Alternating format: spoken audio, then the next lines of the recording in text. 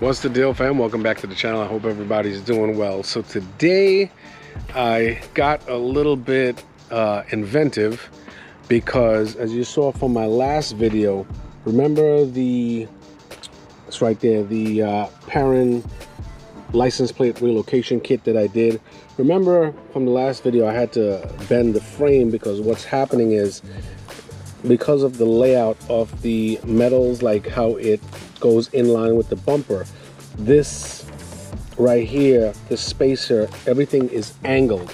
So like if you're looking at it it's angled a little bit going that way. So that's the reason why I had to bend the frame and all of that stuff. So the license plate relocation kit I think the best one for your money is this Turbo XS one that I've put on a while ago and the reason why is not only you can move this and adjust it up, down, slide it side to side, or whatever the case might be, it actually has a, a pivot ball. I'm gonna show you right here. It has this ball right here, so you can actually angle the, the frame. So this frame here with this pivot ball, it doesn't just have to stay stationary like this. It can be angled so you can have it facing dead center with the uh, front of the car. So now, but the issue is the pivot ball usually comes with this M5 bolt here on the Turbo XS kit and it's short. So I said, you know what? What if I bought a longer bolt? So the this bolt right here, this bolt that comes with the Perrin kit, it's 40 millimeters long. So what I did was I bought a little kit. It cost me like what 10 bucks bunch of M5 bolts, one that's 40 millimeters long as well. And I put it in here and it actually worked.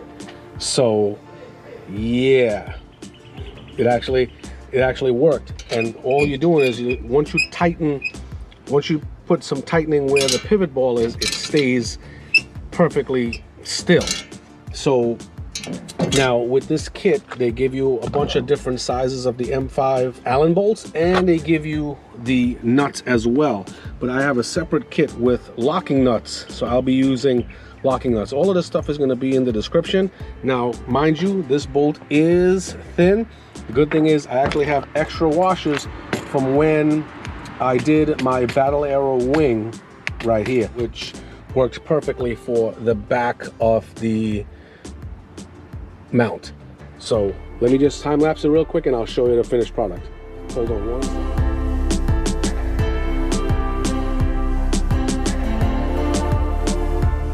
All right guys, so here it is. Here's the finished product. So look at that bad boy real quick. I'll show you a frontal view. So you see how the that pivot ball it works. Where look at this from the front.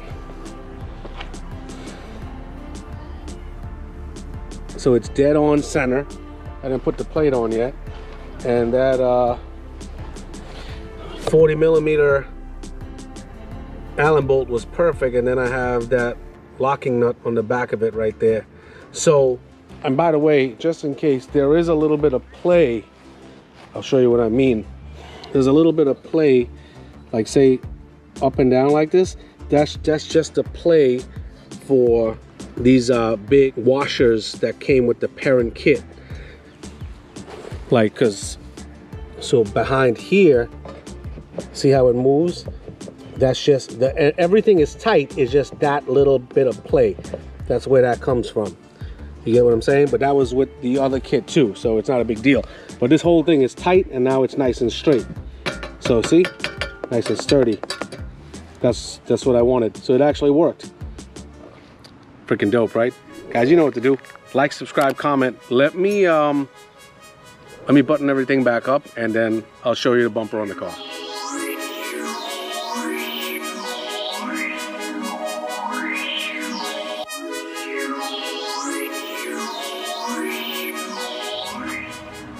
all right guys so here we have it. Look at this bad boy. Finished product nice and straight like how I had it before. Level this is what I'm talking about right here again. Look how that pivot ball worked nicely right here. Hopefully you could see that nice and clear. Look at that. Works perfectly. And